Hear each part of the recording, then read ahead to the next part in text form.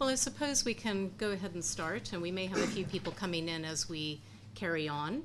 Um, my name is Wendy Fenton, and I'm the coordinator of the Humanitarian Practice Network here at ODI.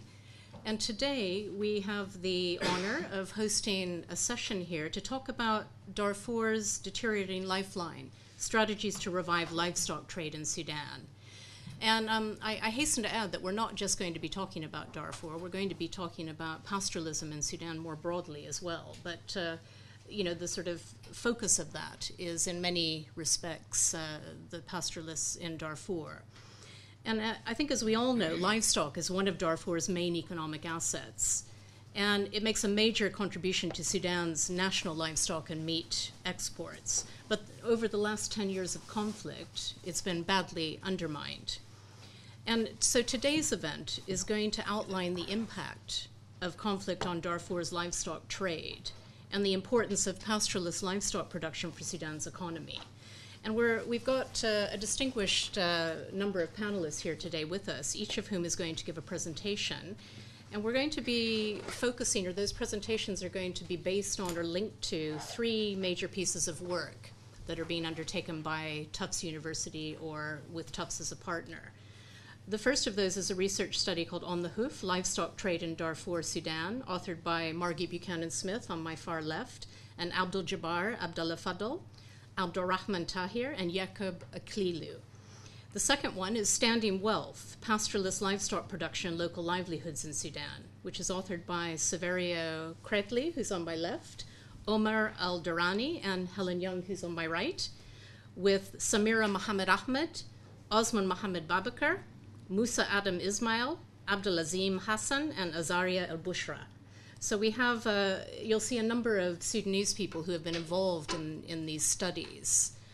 Um, and finally, um, Helen's going to, to, talk about an initiative which is tracking pastoralist livestock mobility in Sudan, from the Bahr to the Jizzu. And this is an ongoing longitudinal study tracking that mobility in the Darfur and Kordofan regions of Sudan. So I'd like to start off by saying that we have an online audience with us today as well. We have about 80 people registered uh, who we think are watching online. Uh, we're going to have 15 minute presentations by each of the panelists, and then I'm going to open the floor for questions, comments, discussion with you. And we're hoping that we'll have at least 30 minutes to, to be able to do that. So, first of all, I'd like to introduce Margie Buchanan Smith, who, as I said, is on my far left. Margie's a visiting fellow with the Feinstein International Center at Tufts University, and she's also a senior research associate with the Humanitarian Policy Group here at ODI. She's an independent policy researcher with more than 25 years of experience in the humanitarian sector. And she first worked in Darfur in 1987 as an agricultural economics advisor to the Agricultural Planning Unit in the Darfur regional government. And during this time, she carried out a study of the grain market in Darfur and initiated a drought early warning system for that uh, region. And her consultancy research uh, work since then has particularly focused on Sudan and the Horn of Africa.